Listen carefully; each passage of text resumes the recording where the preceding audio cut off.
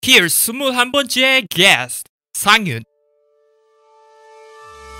영어 영어 영어 Wanna get motivated? Here's your host Andrew Lee This is 영어 왕 Podcast 영어 공부하시면서 힘드신 점 많으실 겁니다. 힘들고 지칠 때 나에게 칭찬해주고 응원해줄 수 있는 외국인이 있다면 정말 도움이 많이 되겠죠. 그런 친구 같은 외국인 멀리서 찾지 마세요. 말하는 영어 온쿱 oncub.com 혹은 oncoup .com 또는 1661-1217로 전화하시면 15분씩 3명의 외국인 강사들과 무료로 대화하실 수 있는 기회 얻으실 수 있습니다. 망설이지 마시고 연락하세요. 혹시 이런 말 들어보셨나요? trial and error. trial이라고 하면은 시도죠. error라고 하면은 오류죠. 오류, 실수, 실패 뭐 그런 식으로 말할 수 있을 것 같습니다. 이게 뭔 뜻이냐면요. 시도를 하고 실패를 계속 하라는 얘기입니다. trial and error. 계속 시도하고 계속 실패하고 그 과정에서 우리가 성장한다는 거죠. 그러니까 실패를 두려워하게 되면은 아무것도 할 수가 없게 됩니다. 반대로 실패를 두려워하지 않으면 뭐든지 시도해 볼 수가 있겠죠. 시도를 많이 하는 사람이 결국 많은 방법들을 해보고 자기만의 방법을 더 빨리 찾을 겁니다. 그 결과 더 잘하게 되겠죠. 영어를 하시면서 정말로 많은 실수를 하게 될 겁니다. 정말로 끝도 없이 많은 실수를 하게 됩니다. 계속 실수하게 되고요. 정말 원어민이 아닌 이상 혹은 원어민조차도 실수를 계속 하고요. 제가 한 가지 예를 드리겠습니다. 제가 가끔 단어를 몰라서 스펠링을 물어보면요. 이 사람들도 가끔 틀린 스펠링을 저한테 줍니다. 그럼 그 틀린 스펠링으로 제가 구글에 검색해 보면 당연히 결과물이 안 나오죠. 그러면은 그게 틀린 스펠링이니까 맞는 스펠링으로 다시 검색을 해보시겠어요? 하면서 한쪽에 제안 문구가 떠 있습니다. 이렇게 원어민들조차도 철자를 다 외우지 못하고 틀립니다. 그리고 원어민들조차도 말하면서 실수를 계속합니다. 그러니까 우리 외국인인 우리가 영어를 배우면서 틀리는 거는 당연하다고 생각되고요. 엄청나게 많은 실수를 앞으로 하셔야 됩니다. 그 엄청나게 많은 실수를 할 각오가 돼 있지 않으시면은 앞으로 성장하기 조금 힘들 겁니다. 실수하는 거 앞으로 들어와지 마시고 trial and error라는 말을 항상 기억하세요. 계속 시도하고 계속 실패하세요. 그게 성공의 지름길입니다. 그럼 이번 에피소드의 영어왕을 간단하게 소개해드리겠습니다. 단 한 번도 외국에 간 적이 없고요. 비행기 타고 간 곳은 제주도 뿐이라고 합니다. 여행으로도 외국에 한 번도 간 적이 없는 이분이고요. 그렇지만 영어 굉장히 잘합니다. 영어 교육과 관련돼서 공부를 하고 계시고요. 어려서부터 영어를 시작해서 이것저것 많이 많이 시도해 보셨다고 합니다. 굉장히 많이 실패를 했고 그 결과 현재는 본인한테 맞는 방법을 찾았고 그 후에 본인이 노력을 계속해서 현재의 영어 왕에 이르게 되었다고 합니다. 인터뷰 전에도 굉장히 준비를 많이 하셨고요. 이번 에피소드에서 본인의 많은 실패담과 성공담을 같이 공유하실 이번 영어왕 게스트 상윤님을 소개해드리겠습니다.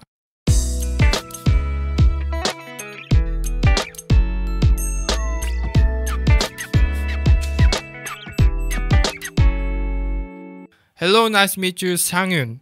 You are on this show as an English Wang.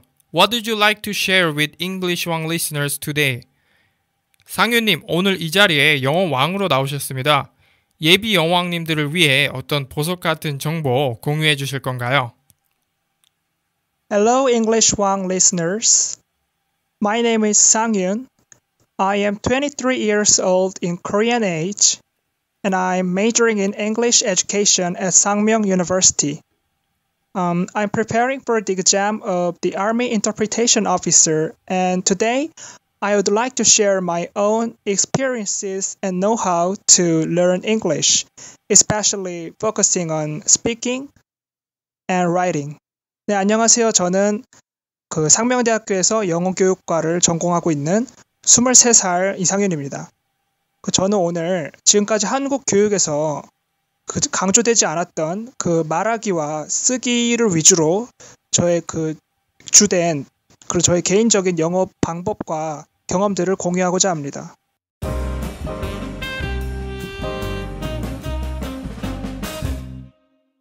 What motivated you the most to start learning English? 영어를 시작하게 된 결정적인 계기는 무엇인가요? 제가 그 가장 자극을 받고 계기가 된 것은 아무래도 해리포터를 읽으면서였던 것 같습니다. 제가 중학교 때까지만 해도 해리포터에 굉장히 관심 많았거든요. 음, 그래서 그 아무래도 원서가 먼저 나오고 한국에는 한 세네 달 뒤에 번역이 돼서 출판이 되잖아요. 그렇죠. 근데 저는 그 몇 달을 기다릴 수가 없더라고요. 너무 보고 싶어서. 음, 네, 그래서 그 지금도 생각이 나는 게 그 해리포터와 죽음의 성물 그 7권 원서를 먼저 사서 어허, 예. 그 한국에 나오기 전에 이렇게 뭐밤 2시까지 이렇게 읽으면서 공부를 했던 기억이 납니다. 그래서 아무래도 그때 이렇게 공부를 하면서 영어에도 좀 관심이 생기고 또 영어 실력도 이렇게 부쩍 늘게 되는 계기가 되었던 것 같습니다.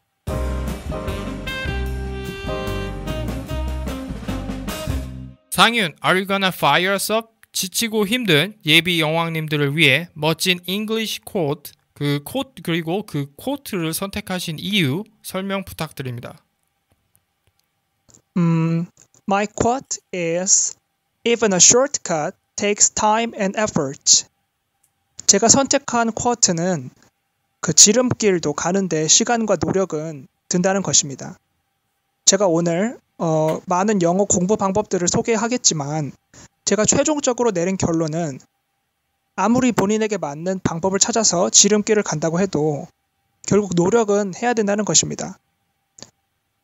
제대로 된 효율적인 방법도 찾지 않고 무조건 열심히 하는 것도 문제지만 자꾸 지름길만 찾으려고 하는 사람들도 있거든요. 제가 볼 때는 저도 그런 사람들 중 하나였던 것 같습니다. 그래서 본인에게 맞는 효율적인 방식으로 공부를 하는 것도 중요하지만 그 그런 방식을 찾은 뒤에는 이렇게 꾸준하게 반복적으로 노력을 하는 것이 중요하다고 생각합니다. 음, 예. 그럼 본인이 실패한 방법들 이렇게 쭉 한번 나열해 보시겠어요? 본인이 숏컷을 이제 원했는데 지름길을 원했는데 아, 네. 그런 과정을 통해서 많이 실패를 하셨다는 거잖아요. 그리고 나중에 이제 네, 그렇죠. 본인한테 예. 맞는 방법을 찾고 이제 노력을 이제 투자하기 시작하고 이제 그렇게 해서 현재 이제 영왕이라는 위치까지 왔는데 그러면 네, 네. 그간 이제 실패했던 방법들을 이제 쭉 한번 나열해 보세요. 저 같은 경우는 그 일단 처음에는 전화 영어를 했었던 것 같아요. 예, 예. 전화, 전화 영어도 하고 근데 아무래도 전화 영어만 해가지고는 말하기 향상에 좀 제가 했을 때는 아무래도 돈에 비해서 시간이 적었거든요. 그래서 음.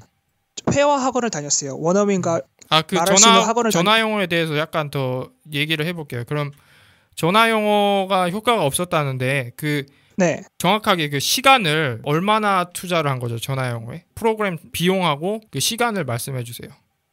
아, 네. 그 제가 했을 때는요 한 달에 한 10만 원 정도를 냈는데 예. 일주일에 어, 월수금 3번 예. 그리고 10분밖에 안 했거든요. 한 번 전화를 하면은 예. 10분밖에 안 했고 그래서 저는 10분 이렇게 해가지고 효과가 있을까 하는 생각이 들었어요. 지금은 뭐 어떤지 잘 모르겠지만요. 아, 예. 지금도 네. 사실은 네, 예, 그런 전화 영어 업체들이 많이 있어요.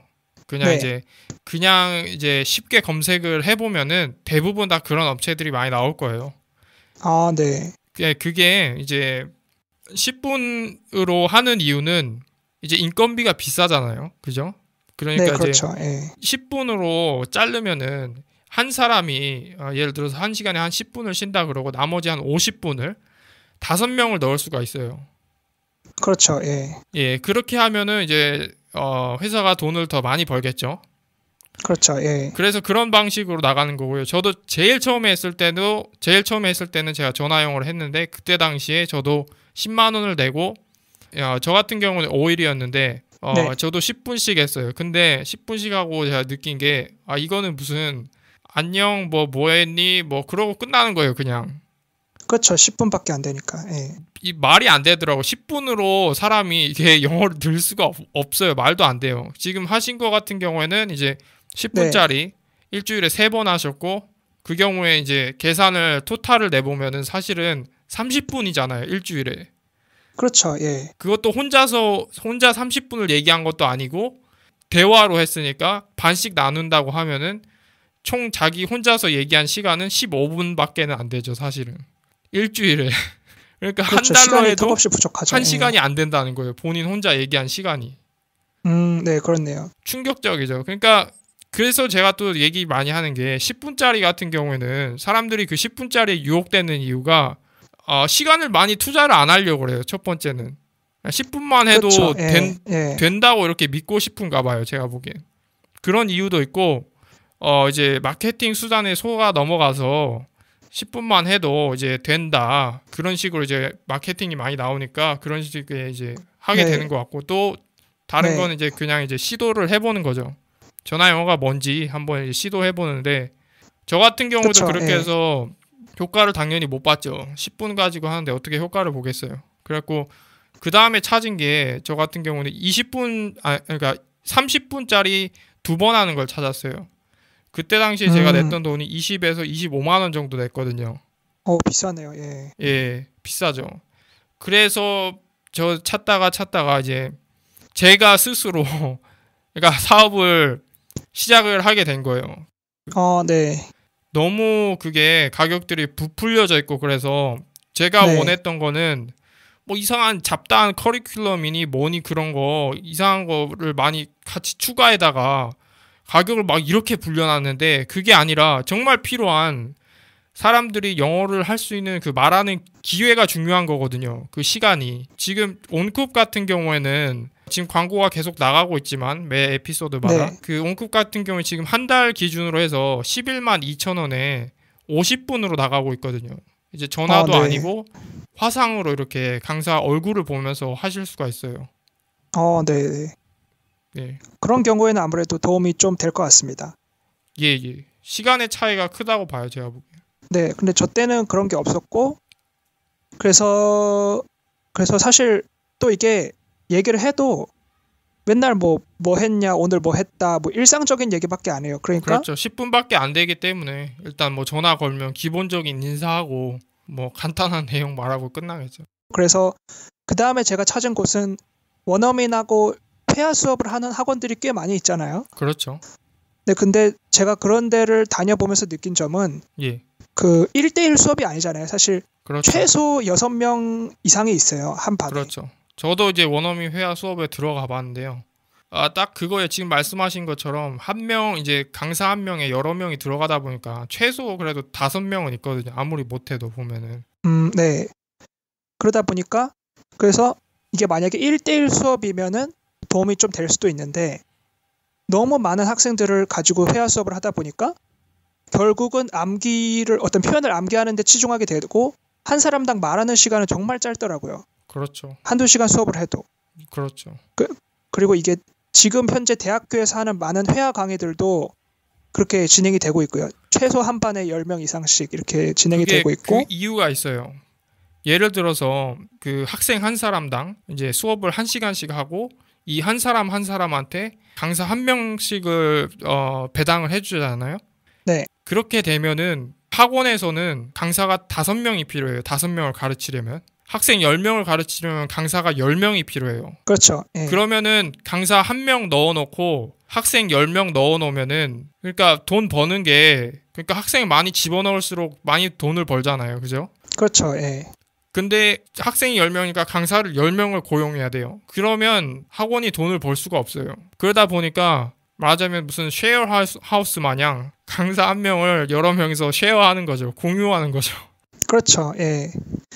그러다 보면 한 사람이 말할 수 있는 시간은 정말 짧아지고 그래서 그래서 결국은 이렇게 또 커리큘럼 위주로 돌아가게 되고 그 실질적인 회화 실력에도 도움이 안 되는 것 같더라고요. 그렇죠. 네, 그리고 저는 또 그 경험을 공유하고 싶은 게 저는 발음 강의를 많이 들었거든요. 그러니까 발음만 전문적으로 가르치는 그런 학원이나 강의들이 있습니다. 예. 그래서- 그래서 저는 맨 처음에 들었던 게 어떤 그런 입의 위치나 입의 모양인 혀의 위치 이런 거를 가르쳐서 발음을 개선시키는 3개월짜리 인터넷 강의가 있었어요. 아, 예. 그래서 그거를 들어봤는데 뭐 좀 나아지는 것 같기도 하고 아닌 것 같기도 하고 하더라고요. 음. 그래서 또 이게 발음이 좋아진다고 해도 사실 영어 실력에 도움은 돼도 직접적으로 영어 실력이 수직 상승하지는 않거든요. 발음이 설령 좋아진다고 해도. 그렇죠. 네, 그래서 저는 그 어떤 혹시라도 그 영어왕 청취자분들 중에 그런 발음 전문 강의를 들으실 생각이 있으시면은 그런 것보다는 발음은 원어민이 알아들을 수 있는 정도면은 충분하다 봅니다. 예를 예. 들면은 뭐 한국에서 외래어 많이 쓰잖아요. 예, 예. 근데 그 외래어 중에 외래어 표기가 실제 영어 발음과는 완전히 다른 경우가 상당히 많습니다. 예를 예. 들면은 이데올로기라는 말을 많이 쓰잖아요. 이념이란 뜻에서. 예. 근데 영어에서는 이데올로기란 발음이 없고 ideology 이렇게 발음을 합니다. 음. 그러면은 이제 한국에서 정말 오래 산 미국인이 아니고서야 이데올로기라고 말을 하면은 잘 못 알아듣는 거죠. 그러니까 음. 발음이 굳이 버터 발음이 아니라고 주눅 들 필요가 없고 이런 최소한의 그 정확 성만 지켜주면은 의사소통은 다 가능하다고 봅니다. 저는. 아, 그러면은 더 실패한 뭐 방법이 더 있나요? 혹시 소개해 주실 실패한 방법들이? 아, 네. 그리고 저는 또 소개해드리고 싶은 게 한국인들이 단어장을 가지고 가- 다니면서 단어를 많이 외우잖아요. 예, 예. 근데 그런 단어장은 사실 도움이 안 됩니다. 아무리 외워도 까먹고요. 설령 단어를 외우는데 성공했다고 할지라도 실제로 써먹을 때는 기억이 전혀 안 납니다. 음. 왜냐면은 어, 예를 들어 볼게요. 예를 들어서 어, pursuit라는 단어가 추구라는 명사잖아요. 예.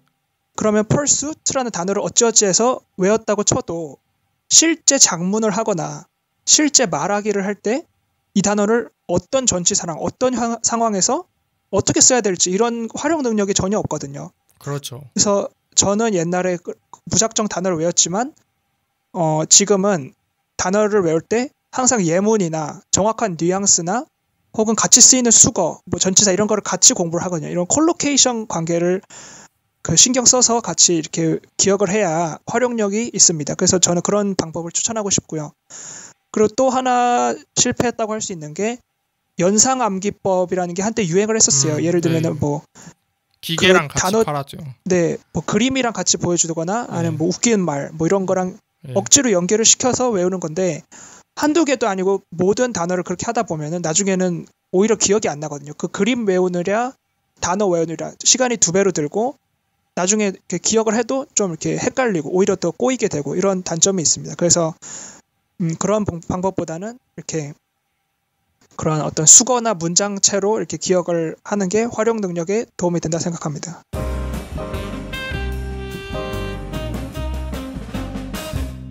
I believe that the four aspects of English must be established in order to be considered as an English one.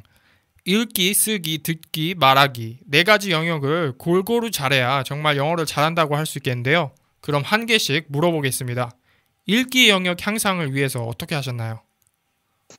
어, 저 같은 경우는 아까도 말했지만 해리포터를 읽으면서 실력이 정말 눈에 띄게 많이 좋아졌고요. 와, 그래서 특히 이거는 처음 외국어를 접하는 사람들에게는 자신의 흥미를 접목시켜서 공부를 하는 것이 도움이 된다 생각합니다. 예를 들면은 뭐 패션 쪽에 관심이 있는 사람이면은 패션 외국에 있는 패션 잡지를 읽는다든지 아니면 그런 관련된 내용을 읽는다든지 이런 식으로 자꾸 재미를 붙여야 이게 공부가 질리지 않고 이렇게 길게 갈 수 있고요. 그리고 또 하나는 어 지나치게 학문적인 내용보다는 실생활에 관련된 내용이나 요즘 시사적인 내용을 공부를 하는 것이 도움이 된다 생각합니다. 예를 들면은 특히 현재 고등학생들은 입시 준비를 하다 보니까 굉장히 딱딱한 지문을 가지고 많이 공부를 하거든요. 예. 제가 사범대생이다 보니까 예전에 올해 그 교생 실습을 갔습니다. 학교에. 예, 예. 근데 이제 고등학생들이 수능 준비를 문제집으로 하는데 문제집을 보면은 수능 문제도 마찬가지지만 대부분이 이런 내용이에요. 어디서 뭐 정신 분석학에 대한 논문의 한 부문을 그대로 따서 빗줄 치고 뭐 이- 뜻하는 바를 찾아라. 뭐 이런 식으로 공부를 하거든요. 근데 뭐 현재 채, 채- 그 시험 제도가 그러니까 어쩔 수 없지만 영어 실력을 위해서라면 그런 방법은 도움이 되지 않고요. 그래서 뭐 요즘 이슈가 되는 것들이 있, 잖아요뭐 메르스라든지 뭐 그런 시사적인 내용들, 그런 영자 신문 기사라든지 그런 거를 가지고 공부를 하면은 좀 더 재미도 있고요. 그리고 예. 그런 데서 배운 표현들은 실제로 써먹을 확률도 더 높습니다. 예를 들면은 수능 독해 문제집에서 정신분열증이라는 단어를 배워도 실제 말을 할 때 그 말을 써먹을 일은 별로 없거든요. 근데 뭐 뭐 구제역이 발생했다, 홍수가 발생했다, 뭐 장마철이다 이런 아니면 뭐 부정선거 이런 내용을 공부를 하다 보면 실제로 말을 할 때도 그런 내용을 말할 기회가 많거든요. 그러니까 독해 공부를 할 때도 그런 시사성이 있는 내용을 공부하는 것이 도움이 되다 생각합니다. 음, 예, 알겠습니다. 좀 연관성이 큰 것들, 실제로 네. 좀 듣고 어떻게 좀 써먹을 수 있는 것들, 네, 네, 맞습니다. 예, 전혀 써먹을 수 없는 것들보다는 전혀 네, 써먹을 네. 수 없는 거는 또 써먹지 않다 보니까 또 금방 까먹게 되고 또 가치가 없죠. 아무래도 써먹을 수가 없으면. 네, 아무래도 또 반복적으로 접해야 기억이 더 잘 나는 법인데 그런 생소한 내용들을 한 번 보고 더 이상 안 보게 되니까 그렇죠. 그만큼 기억도 잘 안 나게 되는 거죠. 음, 예. 그렇게 하는 데는 제가 보기엔 이유가 있다고 봐요. 그런 네. 어렵고 좀 지겹고 딱딱한 거를 하는 거는 뭐랄까 좀 멋있어 보인다고 해야 될까요? 아, 나 이런 거 하는 사람이야. 라고 좀 보여주기 위해서 그런 보여주고 음, 싶은 네. 마음이 좀 많이 안에 들어가 있는 것 같아요. 그래서 그런 어려운 거를 일부러 한다, 하는 게 아닐까라는 생각을 제가 해요. 음, 네. 일리, 그리고 또 아무래도 그런 입시 제도랑도 많이 관련이 있겠죠. 어려워야 학생들을 이렇게 떨어뜨릴 수 있으니까 또 분별력이 생기죠. 또 시험 네. 변별력을 만들려면 또 어려운 내용을 자꾸 집어 넣어야 예. 네, 그렇게 되는 거니까. 예. 그리고 이제 회사 같은 데서 요구하는 거는 실제로 요구하는 그런 것들을 보면은 어떤 실용적인 거, 그 회사 안에서 써먹을 수 있는 이런 것들을 많이 요구를 하는데 네, 이제 네. 대학교 같은 경우는 솔직히 직접 이렇게 실용적으로 한다기보다는 뭐랄까 좀 대학교의 권위, 좀 대학교의 좀 어떤 그런 모습이나 겉으로 보여지는 게 상당히 중요하잖아요, 사실은. 그렇죠. 순수학문을 추구하는 그런 이미지가 있죠. 예. 그렇죠. 그렇기 때문에 또 그런 의미에서도 논문 그런 게 있어서 그런 걸 바탕으로 공부한다 그러면 좀 뭔가 논문이 이렇게 그럴듯해 보여야 되고 조금 쉬운 거보다는 일부러 더 어려운 걸 어려운 단어를 쓰고 좀 자주 쓰는 우리가 단어보다는 약간 싸 보이니까 그런 거요. 그런 것보다는 조금 더 고급스러워 보이고 좀 어려워 보이는 걸로 많이 쓰고 음, 네. 그렇죠. 예. 그래서 또 그런 기관에서 또 시험이 나오고 그런 기관에서 책들이 나오다 보니까 그 안에 있는 내용들이 현실과는 너무 거리가 먼 그런 내용들이 많이 들어가 있는 것 같아요. 그렇죠. 시험 출제위원들이 좀 그런 권위적인 걸 버리고 그렇죠. 전반적인 교육 정책 자체를 실용적인 걸로 가야 되는데 그렇죠. 아직까지는 그런 게 정착을 못 하고 있죠. 예. 그럼 쓰기 능력 향상을 위해서는 어떻게 하셨나요? 어, 저 같은 경우는 영어를 정말 맨 처음 배우는 초중급 그런 학습자들의 경우는 본인이 직접 겪었던 일들을 일기 영어 일기를 쓰는 것이 도움이 된다 생각합니다. 음, 예를 들면은 뭐 간단한 내용이라도 영어로 쓰려고 하면 막상 안 떠오르는 게 꽤 있잖아요. 그렇죠. 근데 본인이 직접 겪었던 일을 일기로 영어로 쓰라고 하면은 그러면서 이제 사전도 찾아보고 하면서 기억에 더 자주 남게 되는 거죠. 음, 그리고 중, 중급 이상의 경우는 아무래도 갈수록 좀 더 아카데믹한 에세이를 쓸 경우가 많은데요. 이 경우에는 무조건 많이 연습을 해본다고 도움이 되는 게 아니라 어떤 에세이를 쓰는 어떤 스킬들을 많이 익히는 게 큰 도움이 됩니다. 음, 예를 들면은 많은 학생들이 간과하는 아주 간단한 게 있는데 에세이를 쓰기 전에 그 서론, 본론, 결론에 본인이 어떤 식으로 무슨 얘기를 할 건지 간단하게 밑그림을 그려보는 게 좋아요. 이면지에 뭐 이렇게 써보든지. 근데 이게 굉장히 짧고 간단한 과정인데도 많은 학생들이 이걸 생략을 하거든요. 그냥 처음부터 글을 막 쓰기 시작합니다. 그러다 보면은 다시 어, 처음부터 다시 쓰고 싶은 데라 생각이 들면은 이미 너무 많이 쓴 거죠. 그러니까 처음부터 어떤 방향으로 쓸지 대충의 감을 잡고 시작하는 게 좋고요. 글을 쓸 때. 그리고 아까도 말했지만 평소에 표현력을 배울 때 영어 어휘를 아- 암기하거나 할 때 어떤 좀 스- 활용할 수 있게끔 어떤 이런 수거 단위나 문장 단위로 공부를 한- 해야 실제 에세이를 쓸 때도 그게 표현이 잘 떠오르고 활용을 할 수 있습니다. 음, 그리고 어, 또 학생들이 많이 틀리는 것 중 하나가 그 아무래도 글을 처음 쓸 때 맨 처음 서론 부분은 좀 흥미로워야 되거든요. 그러니까 흥미로운 도입부, 흥미로우면서 내용에 관련성이 있는 도입부를 쓰는 게 중요하고요. 그리고 음, 또 사실 영어 글쓰기든 한국어 글쓰기랑 조금 다르잖아요. 그 예. 예를 들면은 가장 큰 차이점 중 하나가 저는 반복을 피하는 거라고 보거든요. 예를 들면 예. 앞에는 뭐 엘리자베스 이렇게 나와도 뒤에는 she, 뭐 the girl 이런 식으로 똑같은 지칭 대상을 지칭해도 표현을 다르게 하잖아요. 예를 들면 예. 처음에는 마이클 잭슨, 뒤에는 미스터 잭슨, 그 다음에는 The Late King of Pop 이런 식으로 똑같은 대상인데도 계속 표현을 바꿔서 지칭을 음. 합니다. 그러니까 이런 식의 반복을 피하는 것도 중요하고요. 또 그렇게 반복을 피하면서 글을 풍성하게 쓰려면 그만큼 같은 뜻을 나타내는 다양한 어휘를 아는 것도 중요합니다. 예를 들면은 강화하다라는 단어를 쓸 때 한국어에서는 그냥 강화하다 계속 반복해서 써도 상관이 없지만 영어에서는 reinforced, 뭐 fortify 이런 식으로 계속 간단해 보이는 보일 수 있지만 굉장히 중요한 스킬들이 많이 있습니다. 그래서 반복을 피한다든지 이런 게 되게 중요하고요. 그래서 그리고 또 예를 들자면 북한에 대한 기사를 읽는다고 할 때 한국어에서는 대- 계속 북한이란 말을 계속 반복해도 어색하지 않습니다. 근데 영어에서는 처음에는 North Korea, 그 다음에는 North Korea를 반복하는 게 아니라 The North, 그 다음에 또 나올 때는 평양 이런 식으로 수도가 그 나라의 정부나 그 나라 전체를 대표하는 경우가 꽤 있고요.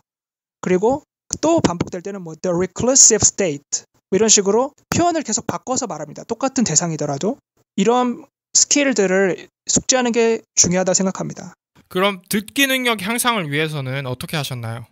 어, 저 같은 경우는 뭐 팝송을 보더, 듣든지 미드를 보든지 이런 즉 간접적으로 계속 영어에 노출을 많이 시키려고 했고요. 예.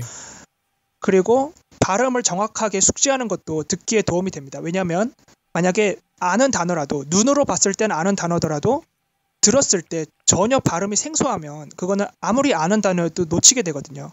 예. 그렇기 때문에 평소에 공부를 할 때 발음을 정확하게 숙지를 해야 실제 그 단어가 그 원어민의 입에서 나왔을 때도 아 이게 그 단어구나 하고 인식을 할 수 있게 됩니다. 사람들은 본인이 단어를 몰라서 잘 안 듣는다고 하지만 잘 안 들린다고 하지만 사실은 다 아는 단어, 다, 다 아는 표현이어도 놓치는 경우가 꽤 많이 있거든요. 아까도 말했듯이 뭐 이데올로기란 단어가 실제 발음은 ideology이기 때문에 이런 것들을 잘 숙지를 해야 실제 그런 발음이 되었을 때 잘 알아들을 수 있습니다. 또 어떤 그런 연음 같은 경우 있잖아요. 어떤 단어 여러 개가 뭉쳐서 발음이 되, 다 보면 잘 못 알아들을 수도 있고요. 그런 것도 평소에 신경을 쓰면은 듣기 실력 향상에 많은 도움이 됩니다. 그리고 뭐 팝송이나 미드 같은 경우도 그런 영어의 리듬에 계속 노출이 되니까 간접적으로 도움이 되고요. 특히 미드 같은 경우는 아무래도 한글 자막을 띄워놓고 보는 것보다는 자막 없이 혹은 정 음. 봐야겠다면 중간중간 영어 스크립트를 확인하면서 이렇게 보는 것이 도움이 됩니다. 그럼 제일 중요한 게 이제 말하기 능력이라고 할 수 있겠는데요. 그 말하기 능력 향상을 위해서는 어떻게 하셨나요? 아, 네, 말하기가 제일 중요하다 할 수 있는데요. 어, 아까도 말했듯이 저 처음에는 뭐 전화 영어도 해보고 회화 학원도 다녀보고 했지만 제가 느낀 점은 원어민과 대화를 많이 하는 것도 중요하지만 평소에 혼자서 말하기 연습을 하는 것도 굉장히 중요합니다. 왜냐하면 실제 원어민과 만나서 이- 말을 할 기회가 있다고 할지라도 원어민이 일일이 다 본인이 모르는 표현 다 가르쳐 주고 막 이렇게 체계적으로 캐리, 처리, 캐리, 커리큘럼을 짜서 이렇게 대화를 하는 게 아니잖아요. 그냥 일상적인 대화, 뭐 어디 뭐 했냐, 밥 먹었냐 이런 대화, 뭐 좋아하는 취미 얘기 이런 걸 하기 때문에 평소에 본인이 회화 공부를 많이 해야 합니다. 저는 많이 쓰는 방법 중 하나가 그 혼잣말을 많이 하거든요. 음, 그래서 실제 이 표현을 어떻게 할까? 또 이- 이게 아는 표현이어도 바로 바로 입에서 튀어나오도록 입에 익을 때까지 반복해서 연습을 합니다. 그래서 혼자 마치 옆에 누가 있는 것처럼 얘기를 하기도 하고요. 그런 식으로 혼자서 이렇게 연습을 많이 하면은 실제 원어민을 만났을 때도 더 말을 잘 할 수 있게 되고요. 또 이거에 대한 부가적인 방법 중 하나가 빈 종이에다가 제가 써먹고 싶은 표현들을 굉장히 크게 써놓거든요. 뭐 매직이나 컴퓨터 사인펜으로 예, 예. 굉장히 크게 써서 이렇게 벽이나 뭐 침대 옆이나 이렇게 붙여놔요. 예. 그러면은 계속 그게 이렇게 각인이 됩니다 머릿 속에 크게 써놓기 때문에 바로바로 꽂히고 이렇게 또 그걸 자꾸 보면서 바로 이렇게 발음을 해봐요 크게 예. 그런 식으로 표현을 공부하면 실제 그 말을 써먹을 수 있는 확률이 더 높아집니다 실제로 제가 많이 쓰는 방법이고요 그래서 공부를 하실 때도 그 눈으로만 보지 말고 이렇게 크게 써보기, 써보기도 하고 수시로 보면서 발음해보고 반복해서 연습을 하면은 실제 말을 할 때도 이게 도움이 됩니다. 그래서 저는 그 영어 말하기가 안 되는 가장 핵심적인 이유 중 하나가 눈으로 보면 아는 단어인데 말할 때 생각이 안 나기 때문이라고 그 생각을 하거든요. 그래서 사실 한국인들의 평균적인 독해 실력, 어휘 실력은 꽤 높은 수준이에요. 근데 정작 말을 할 때는 그게 표- 간단한 표현이라도 잘 생각이 안 나거든요. 왜냐하면 연습이 안 돼 있기 때문이에요. 그렇기 음. 때문에 저희가 수동적으로 알고 있는 어휘들을 적극적으로 바로 활용할 수 있도록 평소에 꾸준히 연습을 반복적으로 하는 게 도움이 많이 된다 생각합니다. 한국 영어 공부 방식은 제가 보기에는 뭐 예를 들어서 단어의 뜻을 알아가거나 그거 자체를 이제 파악하고 해석하는 데 이제 집중을 하는 것 같은데 활용하는 데에 그 시간을 전혀 쓰지 않는 것 같아요. 제가 보기에는. 네, 그렇죠. 하지만 정작 사회에 나가면 가장 요구되는 능력은 쓰기랑 말하기 능력인데 그렇죠. 정작 학교에서는 그걸 전혀 가르치고 있지 않은 것이죠. 음.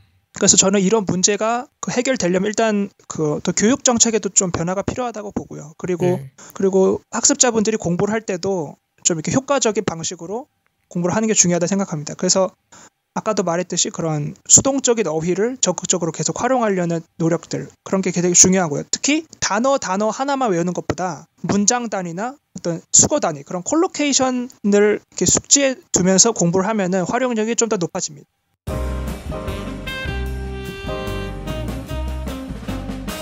In your opinion, what has been the best and worst method for learning English effectively? 절대 추천하는 방법 하나와 절대 비추천하는 방법 하나 예비 여왕님들을 위해 공유 바랍니다.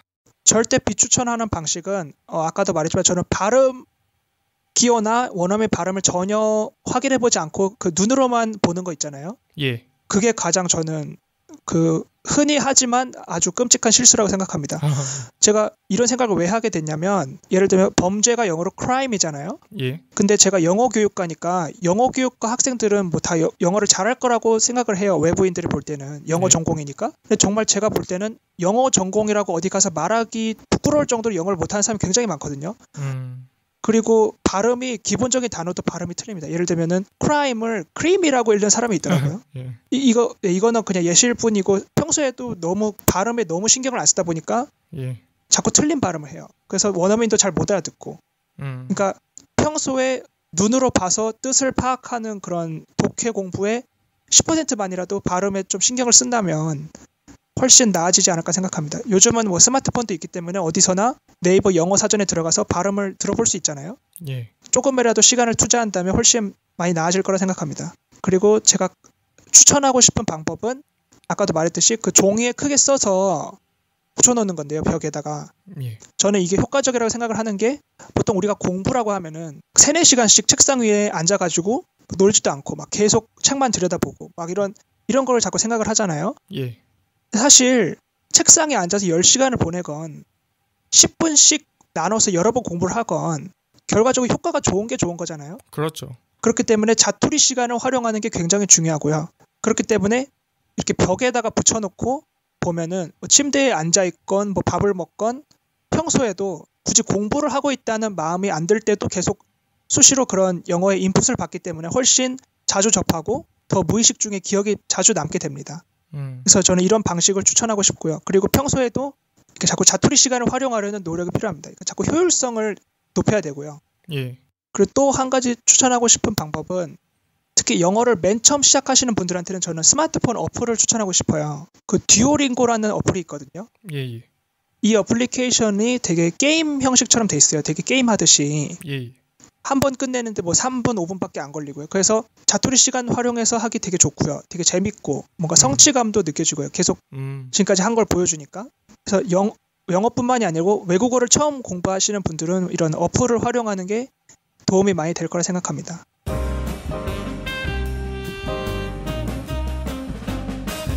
상윤, please let us know about an interesting story that can resonate with English One listeners. 영어를 하면서 경험했던 재미있는 에피소드 공유 바랍니다.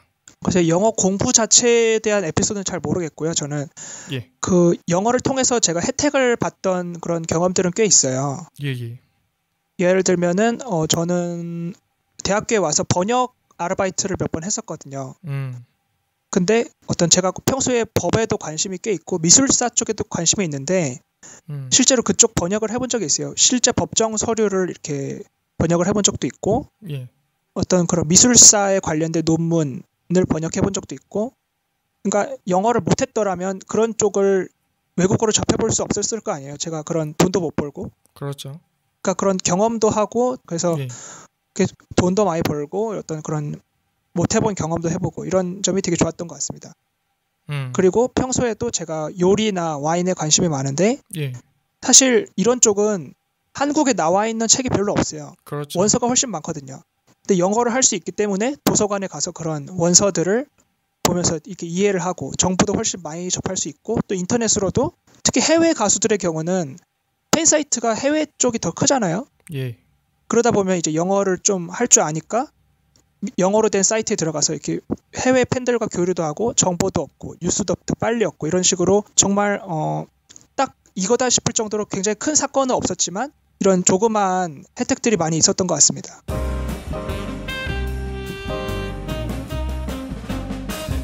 Here's my last question. 상윤님처럼 영어를 잘하고픈 예비 여왕님들을 위해 소중한 한 말씀, 한국말로 한 번, 그리고 같은 내용, 영어로 한 번 남기고 마치겠습니다. 아, 네, 일단 한국말로 하겠습니다. 예. 그 제가 이렇게 영어 공부를 하는 노하우나 비법들을 많이 소개를 했는데 한국인들은 너무 효율성을 신경을 안 쓰기 때문에 본인에게 맞는 방법이 무엇인지 고민해보고 찾는 것이 굉장히 중요합니다. 하지만 아까 맨 처음에 말했듯이 이렇게 본인에게 맞는다고 생각된 방법을 찾은 뒤에는 결국 끊임없이 열- 열심히 노력하고 반복적으로 이렇게 반복하는 것이 중요합니다. 저 같은 경우는 어, 그런 너무 지름길만을 찾고 노력은 하지 않았던 것 같습니다. 지- 그래서 반성을 하고 있고요. 그래서 처음에는 효율적인 방식을 찾고 그걸 찾은 뒤에는 열심히 하라고 조언을 하고 싶습니다. I'd like to say that uh, finding an efficient way to learn English is very important. But after you find the efficient way, you have to practice and practice again. Eventually, practice makes perfect.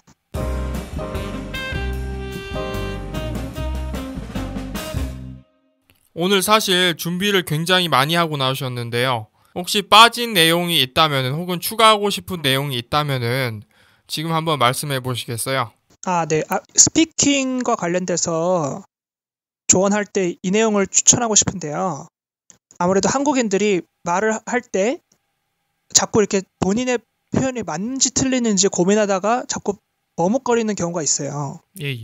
근데 사실 말을 유창하게 하는 게 더 중요하거든요. 그러니까 본인의 내용이 틀리든 맞든 일단 내뱉고 나중에 교정을 하는 게 더 도움이 된다고 봅니다. 예. 예. 왜냐하면 라이팅을 하는 게 아니기 때문에 예. 스피킹의 경우는 궁극적으로는 커뮤니케이션이 목적이고 그렇죠. 이런 경우에는 어떤 accuracy보다는 fluency를 좀 더 중점에 둬야 합니다. 음. 물론 fluency만 너무 중점에 두면 또 나중에 문법적으로 틀린 거를 고칠 수가 없을 정도로 굳어지는 경우도 있긴 한데요. 예. 그렇다고 교- 그, 그, 그, 그, 그렇기 때문에 accuracy가 중요하지 않다는 건 아니지만 일단은 먼저 내뱉고 나중에 추후적으로 표현을 배우거나 뭐 틀린 점을 고치거나 하는 식으로 하는 게 도움이 됩니다. 그러니까 본인의 내용이 맞는지 틀리는지 생각하다가 말을 아예 못하는 것보다는 틀린 표현이라도 일단 내뱉고 나중에 교정을 하는 것이 도움이 됩니다. 음. 예. 자꾸 말하려고 노력을 이렇게 하는 게 중요하다고 봅니다. 이게 사람이 예를 들어서 내가 어떤 문장을 알고 있다고 해도 입으로 내뱉어 보면 실수하는 경우가 굉장히 많아요. 그리고 실수를 하고 나서 아 그러니까 딱 1초 지, 뒤에도 아 그거 내가 왜 이렇게 말했지? 라고 이렇게 생각되는 게 그러니까 입이 한마디로 말해서 머리를 못 따라와요. 해보면은 그렇죠. 예. 입은 계속 실수를 해요. 그러니까 설령 머리 머리가 완벽한 문장이 있을지라도 입은 계속 실수를 하는 거예요.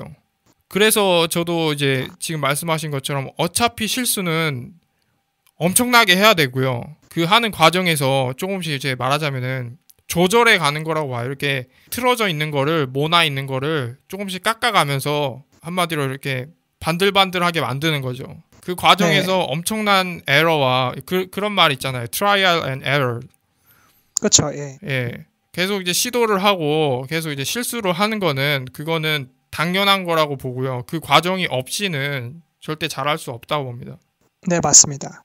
그래서 일단 자신감을 갖고 먼저 내뱉는 게 중요하고요. 그리고 사실 외국인들의 경우는 그런 비원어민이 말을 할 때 좀 관대하게 듣기 때문에 웬만하면 다 알아듣습니다. 뜻을. 예, 예. 단지 말하는 본인이 좀 이렇게 부끄럽고 이렇게 내용이 틀리면 어쩌지? 내가 표현을 잘못 말하면 어쩌지? 문법이 틀리면 어쩌지? 이런 고민을 하다 보니까 자꾸 위축되는 건데요. 일단 말을 내뱉고 나중에 공부를 하면서 다시 교정을 하는 게 도움이 될 거라고 생각합니다. 외국인 입장에서도 말을 안 하고 그냥 가만히 있는 꿀먹은 벙어리 같이 그렇게 가만히 있는 좀 샤이한 좀 창피하고 그런 외국인보다는 그래도 좀 틀리더라도 말을 좀 이렇게 하고 하는 외국인이 더 뭔가 친해지고 싶을 거예요. 네, 맞습니다. 예. 또 그런 거는 금방 고치면 되는 거니까요. 틀린 표현 같은 거는. 그리고 말을 해야지 아무래도 누가 듣고 고쳐주기라도 하지 말을 안 하면은 누가 알지를 못하니까 고쳐주지도 못하죠. 그렇죠. 예. 실수를 해야 나아지는 것도 있는 거죠.